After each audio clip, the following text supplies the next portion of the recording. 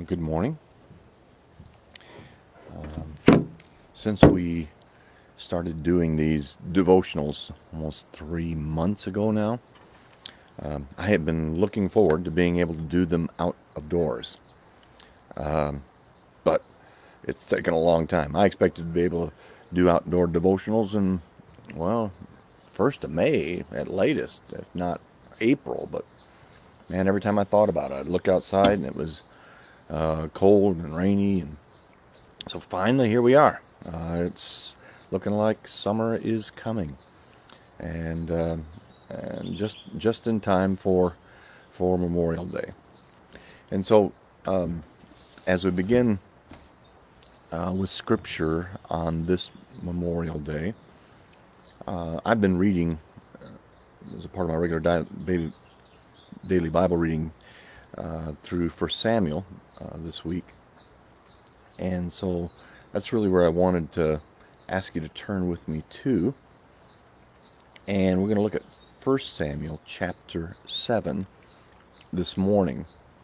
And I turn here because uh, to me it is a, a, very appropriate Memorial Day text or passage, uh, reminding us of how important it is for us to remember. So uh, we're going to start reading from 1 Samuel chapter 7. And let's begin in verse 5. Uh, no, let, us start with verse 2, just to give you some background. It says, Time went back by until 20 years has passed since the ark was taken to Kiriath Jearim. The whole house of Israel began to seek the Lord. And Samuel told them, If you're returning to the Lord with all of your heart, and get rid of your foreign gods and your Ashtaroths uh, that are among you, and dedicate yourself to the Lord and worship only Him, then He will rescue you from the hands of the Philistines. So the Israelites removed the Baals and Ashtaroths and only worshiped the Lord. And Samuel said, Gather all Israel at Mizpah, and I will pray to the Lord on your behalf. When they gathered at Mizpah, they drew water and poured it out in the Lord's presence. They fasted that day, and there they confessed, We have sinned against the Lord. And Samuel judged Israel at Mizpah. When the Philistines heard that the Israelites had gathered at Mizpah, their rulers marched up towards Israel. And when the Israelites heard about it, they were afraid because of the Philistines. And the Israelites said to Samuel, Don't stop crying out to the Lord your God, our God, for us, that he may save us from the hands of the Philistines. Then Samuel took a young lamb and offered it as a whole burnt offering to the Lord. And he cried out to the Lord on behalf of Israel. And the Lord answered him. And Samuel was offering the burnt offerings as the Philistines drew near to fight against Israel. And the Lord thundered loudly against the Philistines that day, and threw them into such a confusion that they fled before Israel. And then the men of Israel charged out of Mizpah, pursued the Philistines, striking them down all the way to the place called Beth-car. Afterwards, Samuel took a stone, and he set it upright between Mizpah and Shen, and he named it Ebenezer, explaining, The Lord has helped us to this point.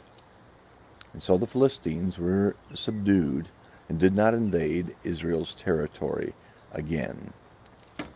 Now, I suggest that that's a, a wonderful Memorial Day passage because in it, uh, Samuel sets up a, a memorial stone, a place to remember. And what they're remembering is in this case, is how the Lord had protected and helped them to that day. See, memorials are important uh, to us. Remembering is important.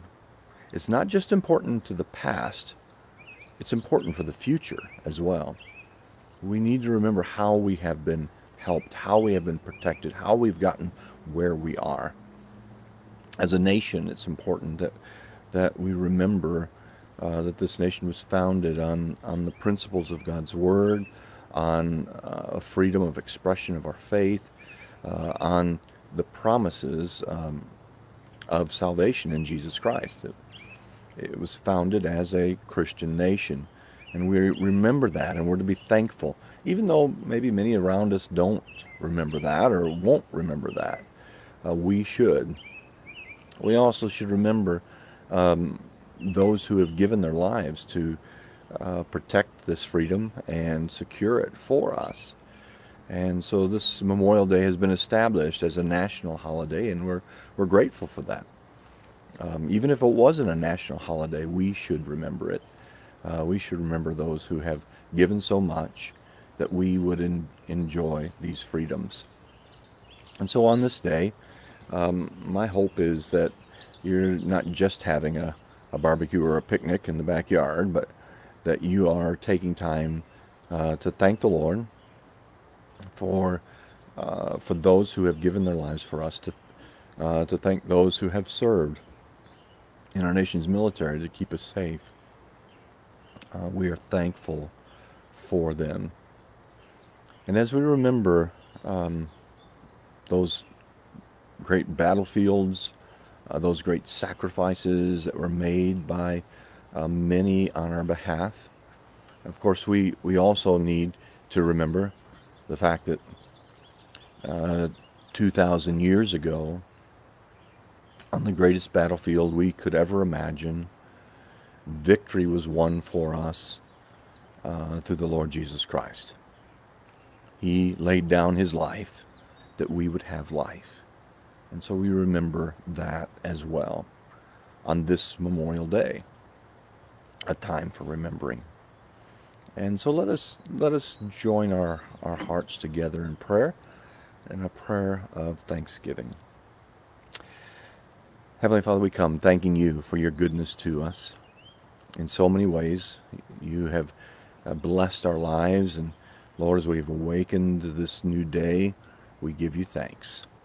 We give you thanks for sustaining our lives and, and for giving us sleep and for waking us on a new day. And this day we begin by remembering. We, re- we remember thankfully uh, those who have uh, purchased our freedoms here on earth in this nation through their sacrifice, through their efforts to secure peace for our nation. We're thankful for our, our military. We're thankful for um, for all that they've done through the years uh, to give us uh, this this freedom. For the many who gave their lives in, in battle and in wars and foreign fields far away, uh, Lord, we're, we're thankful for them. We remember them today.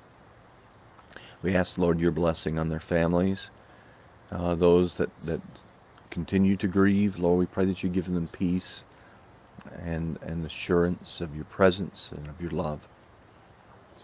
Lord, we're also thankful on this morning for the great sacrifice that that Jesus gave on our behalf. Lord, that he entered the battlefield for our souls, that he secured our spiritual life, and that he's given us the promise of eternal life uh, with you. And so, Lord, our hearts are full of gratitude this morning for the many things that you've done, for the ways that you have blessed us. And Lord, we just ask your blessing on, on each one this day. Lord, it's in Jesus' name we pray. Amen. May God richly bless you on this Memorial Day. May He encourage your heart in Him. Have a wonderful day.